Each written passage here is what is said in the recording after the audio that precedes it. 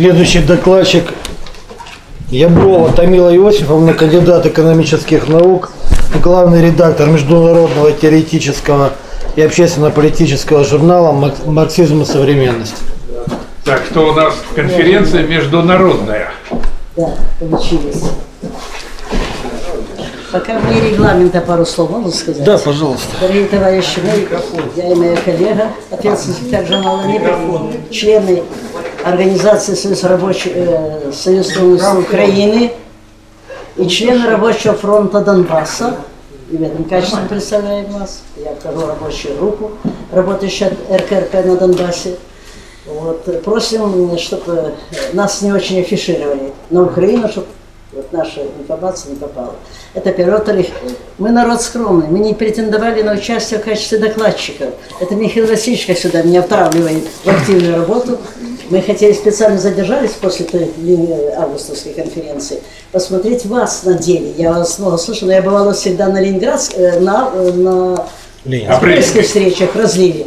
А вот РКРП и фонд рабочей академии вот в этом качестве теоретическом, не, ну, по- только по материалам. Поэтому мы очень благодарны. Мы не только не жалеем, мы бы еще дольше посидели здесь, чтобы с вами вполне встретиться. Поэтому в этом отношении, простите, если я буду несколько фрагментарно, я не готова к специальному выступлению, да, может быть, это не нужно. Я думаю, что кое о чем мы подумаем с вами вместе. Некоторые вопросы постараюсь поставить в плане того, той темы, которую Михаил Васильевич мне определил в нашей частной беседе, о противоречиях Совета, так ведь? Да. Но пока, прежде всего, поскольку ваша сегодняшняя конференция, наша уже конференция, посвящена прежде всего значению Великой Октябрьской революции, ее огромному влиянию на мировые процессы, позвольте вернуться к этой теме.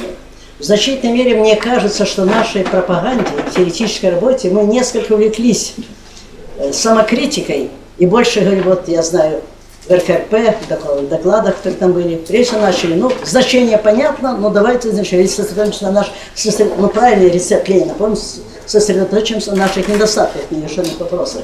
Но мы забываем, что Великий Октябрь, его значение необходимо понимать не только для внутрипартийной работы и критики наших недостатков, но это событие всемирной исторической для всех народов не только коммунистов, но всех народов, находящихся на разном уровне сознания, своих интересов, развития и так далее. Поэтому для меня, например, очень призывно звучат слова Горького, который говорил, что надо в Октябрьской революции искать не пепел, а пламя.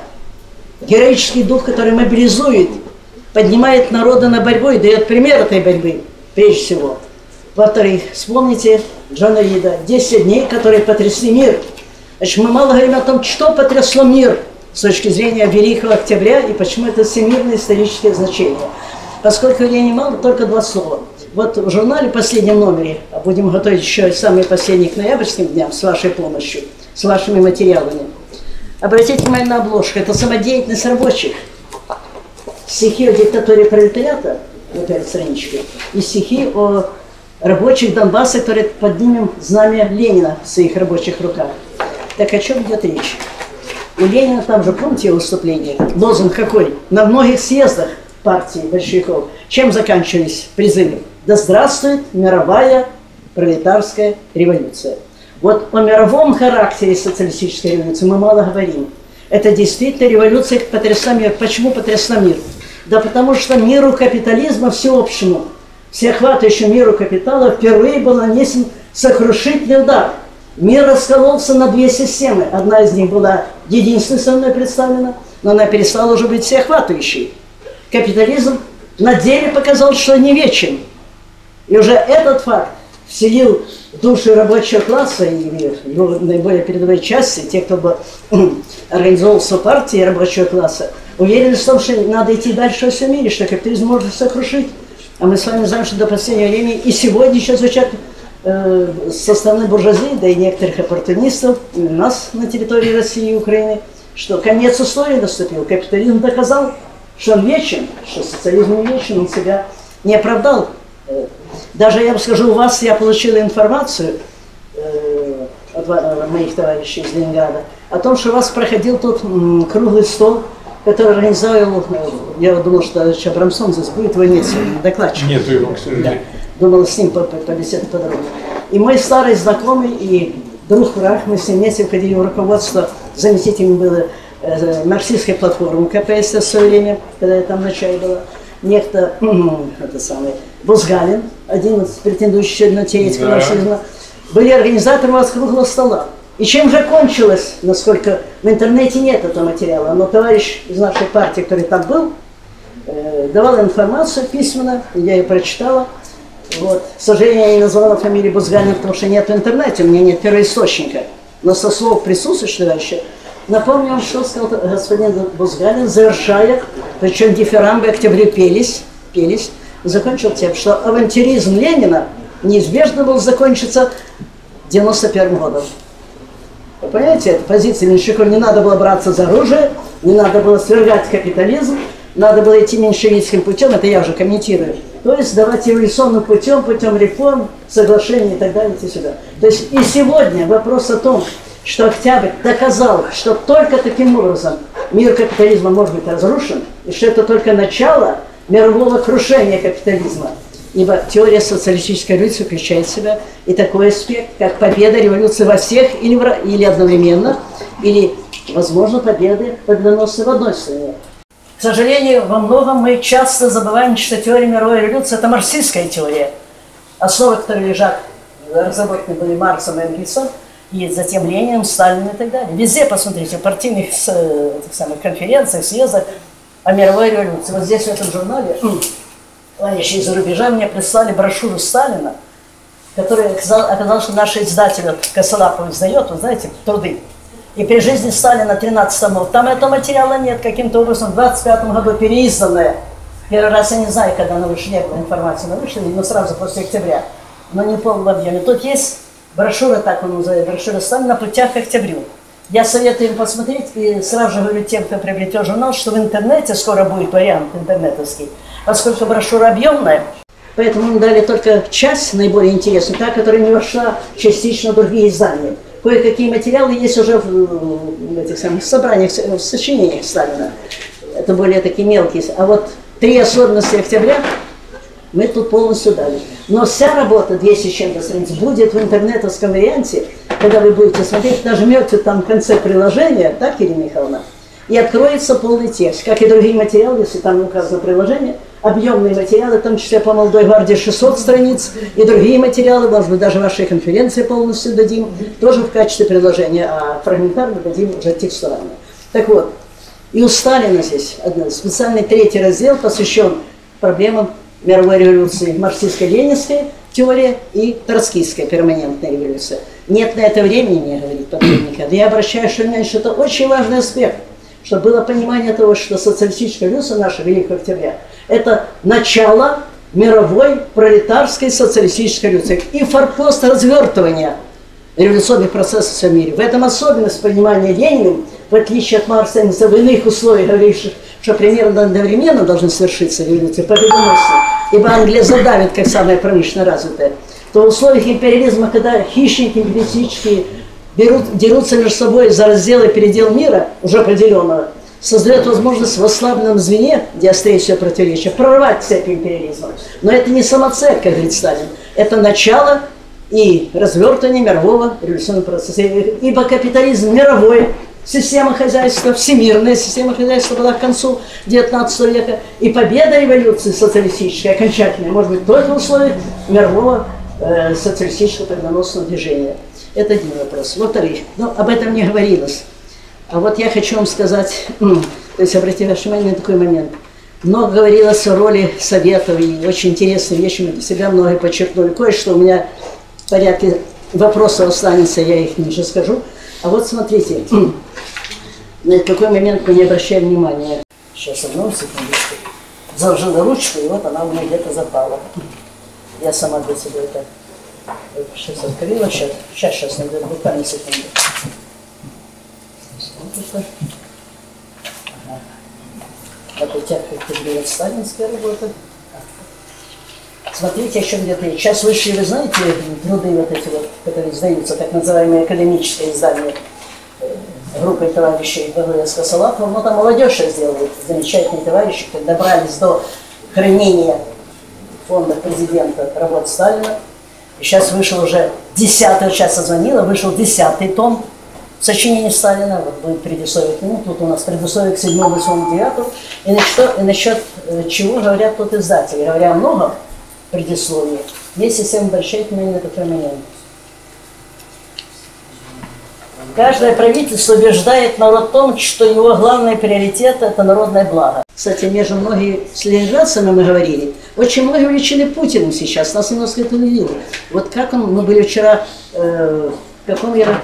Э, Константиновском. Красота необъяснимая. Действительно, все это сказано в основном при Путине, Мерците.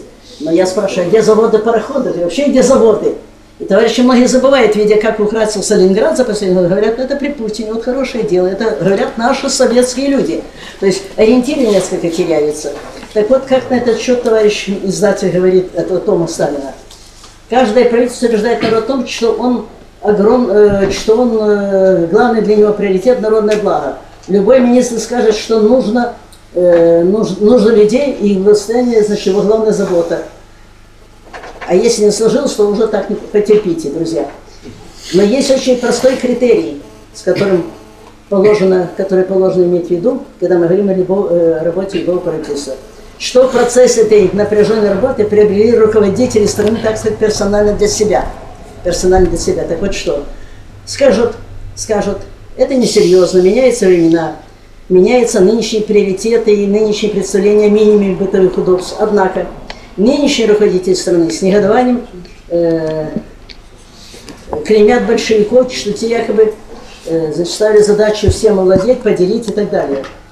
Так вот, что характеризует руководителей большевиков первые годы же советской власти и позднее, но, не, к сожалению, не до конца.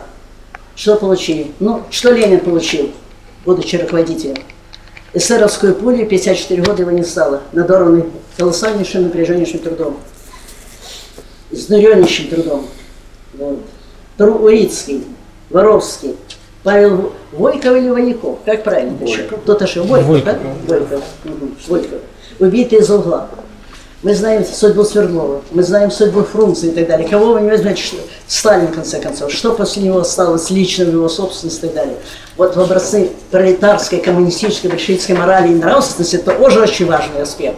Очень важный аспект, когда мы говорим о том, Почему авторитет большевиков так был велик в народных массах? И этот момент также надо повторять и говорить, но не только большевиков, а трудящийся рабочий класс России. Вспомните черные сухари, когда рабочие Питера и не только, и Москвы посылали э, восставшим э, немецким рабочим черные сухари. Даже есть такая это самая, э, повесть небольшая «Черные сухари» Драбкиной о том, что сами сидели на смужке хлеба, и вот эти черные сухари, которые стали собирались, послали голодающим рабочим э, это самое, немецким рабочим, воевавшим и так далее. То есть вот этот интернационализм, пролетарский на деле, не только сочувствие, но и прямое участие в борьбе мирового пролетариата, тоже важнейший факт, это тоже элемент мировой революции. И последний в этом плане. Вы знаете, мы много говорим о значении Великой Победы в октябре, ну, простите, в 1945 году над фашизмом тот огромный вклад, который нес наш народ, всего русский народ, победу над этой гидрой фашизма. Но мы забываем, что предвоенные годы, наш народ, все годы, когда строились основы социализма, переходный период и затем, когда к основам социализма перешли, это тоже был героизм. Ну, например, товарищи экономисты, такие цифры. Оказывается, за годы войны мы в два раза произвели больше вооружений, чем Германия со всеми своими сателлитами. Хотя выплавляла сталь оно в три раза больше, со сателлитами своими, и в пять раз больше добывала угля. О чем шла речь? Группа А в первом подразделении, то есть производство средств, производство для обороны, и в целом для производства средств преобладала. Конечно, щемлялось производство предметов потребления. Конечно, уровень жизни наших трудящихся мог быть более высокий с точки зрения набора и качества потребительских благ. Но самоотверженность нашего народа под руководством нашей партии и, кстати, социалистического государства. Я что-то ничего не услыхала о государстве, о коллективах слышу трудовых, о роль государства, о государственной собственности. Трудовой коллектив самый развитый, в состоянии решить проблемы общегосударственные. Многие считают так, что достаточно самоуправления. А вот государственная социалистическая собственность, как цементирующая интересы всех коллективов, преодолевающий тот самый коллективный эгоизм, который сохраняется или воспроизводится, особенно в годы перестройки, показал, это он показал, что без пролетарского государства, пока мы не добьемся перехода к полному коммунизму, строить социализм невозможно. Это тоже черта диктатуры пролетариата, необходимость вот этого. А у нас многие нападают. Вся беда в том, бюрократизация – это и есть государство, понимаете? Не видят главную роль социалистического пролетарского государства. Конечно, страдало многими изъянами, это понятно, живые люди время формировало. Но еще раз повторяю, без него, без общественной государственной собственности, формы государственной собственности, нельзя было основы социализма строить, нельзя было войну выиграть, и нельзя было цементировать общество пролетарское, единый кулак. Ну, много вопросов хотел сказать, я на этом закончу. А, еще один момент. О капитализме два слова, товарищи. Вот мы часто автоматически говорим, и часто наша пропаганда не доходит до наших товарищей, которые не занимаются, скажем, теоретическим вопросом. Ленин показал, что империализм – последняя стадия, стадия крушения капитализма, загнивающий, паразитический и так далее. И даже, помните, был такой анекдот, загнивает, но как хорошо пахнет. Многие так реагировали на это. Значит, в чем, в чем все дело? Да, загнивает, это противоречие, все против. Но он же и воспроизводит условия своего существования. Посмотрите, с точки зрения технического прогресса, он паразитирует на общественной производительности, да, на техническом прогрессе. Он создает челядь, Четыре пятых из непроизводственного сектора это заняты, это либо это их отряды самообороны, так называемые, ну, вооруженные их, э, их армии, монополий, не говоря уже об армии в целом государства.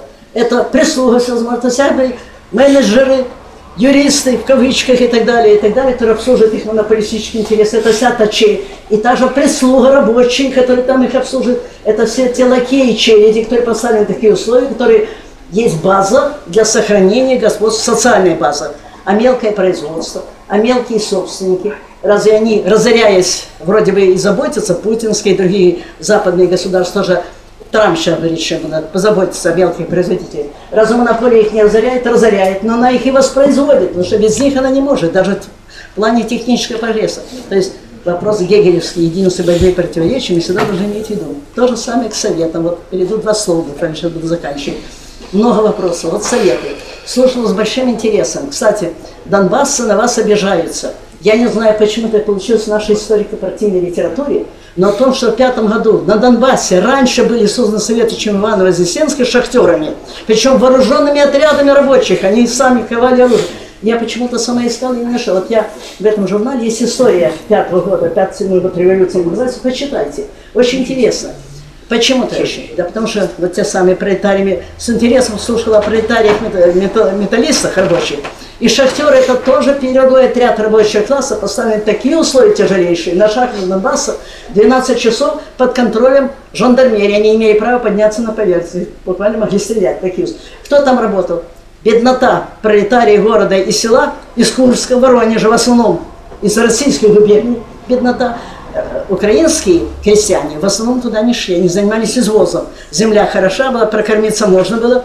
В основном там был именно люд из российских этих округов. И вот эти тяжелые условия спайка, риск все время, готовность работать э, в коллективе и так далее, сказались в том, что на Донбассе революция 57 и в 17 году произошла. Очень интересно, столько героизма. Каких лидеров выдвинул Артем Сергеев, э, тот самый, забыл, не буду сейчас забыть который в Госплане потом, на его фамилию забыла, крупнейший наш специалист. Ворошилов, Каганович. Совершенно, ну, и Сталин, да. Вы знаете, о чем Сталин заботился? Вот как в одном из первых журналов я нашла этот материал. Он, когда его направили на Восток, обеспечить там работу шахты восстановления, уже в советский период, он писал ЦК, в СНК, нужны шнурки для, для того, чтобы обматывать эти анучи, потому что обуви не было, а шахтеры спускались, и надо было вот эти самые как они, ну, портянки, что ли, анучи называли. Значит, Анучки. Сталину доходил даже эта мысль, что нужно же пришлите вот даже такой элемент производственной одежды и так далее. В общем, это был интернациональный сплав, и Донбасс интересен в том, что не случайно сегодня на Донбассе, в этих условиях, которых я перехожу к теме Украины, наверное, вопросы такие будут, остальные теории пока оставлю в стороне. Не случайно именно там, как сказал Порошенко, что самое главное, почему? Главное, дословно, главная причина войны на Донбассе, это надо искоренить в умах там и в душах людей желание Советского Союза, социализма, советскости. Когда мы там были, я была там в начале 14 когда начались события, в 14 году, товарищи, на подбитых танках, которые были забраны, забраны в Укропово, этих в армии Порошенко, э, все вооружение было отобрано в этой армии тогда, еще и армия, она была слаба, и тогда небольшими отрядами. Ополченцы – это те же рабочие, интеллигенция промышленная и так далее. Они стали на защиту от фашизма. Предлог был отказ от русского, запрета русского языка и в целом фашистские все методы подавления, сопротивления этому перевороту. И они встали на защиту. Это сейчас там уже армия в какой-то мере формируется по принципу армии. И ополченцы всячески отодвигаются их интересами. Но они все были под красными знаменами Советского Союза или знамени Победы. Вы понимаете, вот, видимо, традиции пролетарской борьбы, организованности и самоотверженности, и самопожертвования характерны вот для Донбасса. Поэтому сейчас, сейчас. Поэтому два слова, товарищи. Что я вам хочу сказать? Можно и больше, очень интересно. Ну, мои дорогие, ну тема такая, видите, ушла. И что, мы дадим вам сразу в прениях еще пять Да. минут выступить. Прения буду? Да. Тогда вернусь к совету. Значит, что меня смущает? Да, вот что вас смущает? Вот скажу, вот видите, это эм, и с Тюркиным мы продолжаем эти разговоры. Я считаю, ну вы же сторонники все-таки, прежде всего, не сторонники, а про- пропагандируете, учите трудящихся, что без овладения всей историей и философией по Энгельсу, помните, нельзя правильно мыслить. И прежде всего гегелевской диалектикой, поставленной, конечно, только на ноги, с головы на ноги. То есть у Маркса уже прощение. Я больше диалектик по капиталу, я политэконом. Поэтому в этом качестве, мне кажется, рабочим нашим надо наносить, помогать владеть их э, диалектикой в том конкретном применении, который Маркс дал на основе э, главной сферы э, жизни общества в материальном производстве. Показал, что это самый страшный снаряд, пущенный в голову буржуазии, а не идеализация того правления, которое дано от Бога по Гегелю, что-то в этом духе. Так вот, но я не отрицаю значение, конечно, прежде и э, гениальнейшего вклада Гегеля в диалектику. Но на этом этапе, мне кажется, надо упор сделать на экономической теории марксизма, его диалектическом развитии и так далее. Так вот, что меня несколько смущает. Вот спорили о производственном принципе. Я много еще для себя подчеркнула. Ну скажите мне, пожалуйста, я свидетель, как и вы сами, э, прихода, ну, совет на переломном этапе, перестроечном, когда советы, рабочие коллективы и советы сами, ну, Украине, например, у нас сейчас называется совет, у нас Рада, Рада это советы, фашистские советы, самые настоящие сегодня у нас. А разве не...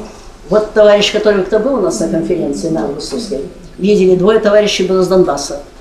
Один из них, который возглавляет сейчас коммунистическую организацию, называется КРОЛ, коммунистическая организация Луганска, рабочих Луганска. КРОЛ, коммунистическая рабочая организация, коммунистическая рабочая организация Луганска, в Луганщине. Вот. Он был последним секретарем, парторганиза- секретарем пар- парткома на одной из крупнейших шахт Луганска. Его буквально на тачке выносили, потому что тогда шахтеры купились из-за пропаганды, из-за всех тех противоречий, которые несла перестройка, и оболванивания их, непонимания своего коренного интереса. И тогда, когда партия уже перестала быть коммунистической, они именно тупились на то, что э, это самое польское, как ее, не свобода, как это называлось, Солидарность. Солидарность. солидарность, простите, туда давала деньги, и из тех же техников рабочих формировала свои кадры и создала так называемый процесс горняков, который сегодня существует, и обслуживает те правительства тех лидеров буржуазных, которые по, по переменам были у власти и сейчас у власти. Вот. Поэтому, если мы говорим о советах, то советы – это форма действительно, и содержание может меняться. Меняться в зависимости. Большевистские советы – это советы, которые выражают интересы, коренные интересы и текущие интересы злободневного рабочего класса. Эсеровско-меньшевистские советы, то есть форма должна сочетаться правильно с содержанием. Я не слыхала, вы это, видимо, считаете альфа и омегой, об этом не говорили, но о том, что нужна была большевизация советов, чтобы они стали орудием борьбы и органами советской власти, и только в таком качестве именно они могут быть органами пролетарской дикта- формы диктатуры пролетариата. И второе, это первое, значит, вот этот момент, соотношение партий и рабочих организаций. Да, э, само- сформированных. А еще одно. Вы знаете, вот как-то где-то в начале 90-х годов, уже после контрреволюции, мне пришлось встречаться с товарищами очень интересными из Конго. Была, кстати, тут и роли личности. Была прекрасна, она есть, партия бельгийских, э, рабочая партия, называется, Да. трудовая партия. Тогда они действительно была боевая партия. Боевая, и У лидер них был лидер боевой. очень интересный, Люда Мартинсон, тут его статья есть, мы ее публикуем, и он был в 97 году, когда мы здесь тоже праздновали, помните, он выступал с трибуны. Интереснейший человек. Он Книжку его перевели шесть на лет русский. провел в Конго, рядом с руководителем конголезских борцов за национальное освободительность. А сам он кто? Он учился в этом самом католическом университете, с ним учился будущий руководитель этого Кон- э, Конго освобожденного. И они вместе там учились у Литвийского капитала Маркса. стали марксистами, стали коммунистами потом, большевистами. Первый Люда Маркс опубликовал на английском языке э, это самое, работу Сталина, то есть презентировал о Сталине, называется «Другой взгляд на Сталина», где разоблачал антисталинизм, как антикоммунизм. Его не стало недавно. И партия, вы знаете, тоже роль ищет. Казалось бы, мощная партия, боевая. Сейчас Мертон стал руководитель, бывший вожак молодежи, профсоюзный деятель. Но он ходит к королю на чай до кофе пить и рассказывает, как они, значит, участвуют в выборах. И партия оказалась в этом плане без, мол- без языка и без мола. Так вот я вас спрашиваю, что случилось с нашей партией, если мы говорим Хр- э, этот самый Хрущев, потом Горбачев и Мерех называем. А где 19 миллионов были? А может быть, нам надо посмотреть на социальную структуру рабочего класса, как она менялась за годы гражданской войны, после гражданской войны, ее социальные истоки какие были? Недаром Ленин говорил, что рабочий пролетарий, настоящий, носитель стихийного пролетарского сознания, которому помогает, или он сам в коллективе приходит к сознанию своих интересов, это который вывалился в котле, фабрично-заводском, так еще, коллективе. 8-10 лет у него. То есть, короче, это не так, и сегодня у нас на Киеве, там, где 2-3 завода сохранилось, рабочие это молодняк, приходящий из деревень, на пару часов, уезжающий туда опять. Ну, туда вообще сейчас на заводы не попасть, у нас практически завода нет. И попробуй туда прийти даже с листовки. Но дело не в этом, даже у вас, на тех заводах. Состав рабочего класса какой? Рабочий класс какой выходит из капитализма? Э, мировоззрение правящего класса является мировоззрением рабочего класса во. Значит, преодолеть это мелкобуржуазно. Рабочий един, когда он выступает за, против капитала, но когда они делят свои рабочие места, они враги друг другу, тоже помните. Это так, когда он выходит из капитализма. Мы сейчас в капитализме. Вот вопрос о том, как работать с нынешним рабочим классом. Кто он такой? Система аутсорсинга. Как она меняет положение рабочего человека. А нынешние теории всякие. Вот Критику от вас хочу слышать, вы профессионалы. Так называемый прекариат. Прекариат. Вы поняли о чем. Новая мода. Рабочего класса не будет. Технический прогресс или, или там полузанятость и так далее. Я заканчиваю. То есть как, как вот эти противостоять им. Мое глубокое убеждение, вот, что рабочий класс всегда будет. Другое дело, какой он будет. Материальное производство – это же основа исторического материализма диалектического. Был, есть и будет всегда. Доля труда физического и устного в сочетании сам физический труд будет иным, творческим. Но он всегда, вот у меня, а, не у меня, вы, наверное, знаете, был такой Миничевич, не слыхали такой фамилии? Югославский замечательный коммунист, который в свое время, его посылали, когда Тита предал, его югославские коммунисты послали к Сталину сказать, что там происходит. Он добрался, добрался, но Значит, сначала его задержали, когда он перешел в Карпаты, пришел. И потом он остался, значит, было все сказано. А потом ну, десятки лет работал у Туполя. Он сам кончал наш авиационный институт имени Жукова и так далее. Так вот, что он говорил? Мы, говорит, по частям учили, чтобы стать коммунистами, будучи на передовой с фашизмом. Учили по кусочкам, да, несли э, это самое, партизанам, по кусочкам главы из краткого курса. Мы сейчас смотрим свысока на подобные работы, понимаете, примитивно нам многие говорят, там это, нет философских широких рассуждений и так далее. А вы знаете, вернуться к краткому курсу тоже не мешало для пропаганды, для листовки и так далее. И не только, и ленинских, и лозунги пролетарские и так далее. Так вот, все-таки к вопросу о изменении структуры рабочего класса, мне кажется, для наших ученых крайне важен. Потому что если это вчерашний крестьянин, единолищик или фермер, и он временно там работает, у него иное сознание – а партия как после индустриализации менялась? В основном-то хлынула после индустриализации в значительной мере. Молодая поросль рабочего класса со всеми предрассудками мелкобуржуазными. Может, поэтому и порождались такие хрущевы, которые выражали массовость. В общем, короче, вопросов много, ответов будем искать, а главное, надо бороться. И последнее скажу. Молодой еще относительно Маркс пишет Энгельсу, помните? Революция Фредин с пришли к общему выводу, только будет насильственная. Буржуазия так не упадет капитализм. Ее надо уронить. А для этого что надо? Вооружаться. Для этого надо идти на заводы. Мы должны командировать наших молодых товарищей не, не только стоять у проходных. Рабочие поверят в коллектив только когда среди них, как Сталин и другие рабочие, трудные, другие работали в рабочих коллективах какое-то время. Помните, где первый коллективный договор России был заключен с Австрией? Помним. Помним. Сталина. Кому-то надо напомнить? Когда Сталина послала Тбилисская организация, центр, на Батумские прииски, э, простите, нефтяные промыслы, будучи там работая, там с рабочим месте, он создал первый э, создали, первая забастовка была победоносной, создали коллективный договор. Вот когда мы среди рабочих, внутри рабочего класса, не только проходной, я не отрицаю значение проходной газет, только тогда будет доверие. То же самое с Донбассом. Вот когда мы поможем донбасскому народу сражаться, наши молодые особенно, понимаете, очень нужно. Не только сочувствие, нужно участие. Надо быть не только единомышленниками, но и единодействием. Еще такой вопрос. Как нам на Украине и Донбассе, я не Донбассе борющимся, э, относиться к России, путинской, нынешней России? Я знаю, что и в, э, в РПП, э, в Российской партии, рабочей Российской партии, и в РКП, и с руководством, идеологами, есть у нас, у нас, как Украине, с вами, рабочее движение, разногласия. Ну, например, мы исходим из положения Маркса, Энгельса и Ленина, что чистой революции не бывает, социалистической. Особенно в современных условиях, когда вытянут весь мир в орбиту потрясений и Восток и так далее равные уровень. Поэтому там народные революции, и революции национально-освободительные, и революции даже национальные, даже у Ленина есть, помните, может быть, в центре Европы империалистическая страна маленькая подвергнется, подвергнуться оккупации, там, агрессии страны более крупного хищника, и защита суверенитета будет справедливой, а войны справедливой. Вот кто-то на конференции назвал, что справедливая, прошедшая в апреле, ну, простите, в августе, э, кто-то из выступающих, что справедливая борьба – это только понятие справедливой борьбы. Это только тогда, когда рабочий класс приходит к власти. Конечно, это идеал. Но ленинские понятия о справедливой борьбе, э, справедливой борьбе, пять, помните, представления есть о формах борьбы, это можно назвать справедливой. В частности, какая война на Донбассе там идет? на война, хотя говорят, это операция АТО или сепаратистов и так далее.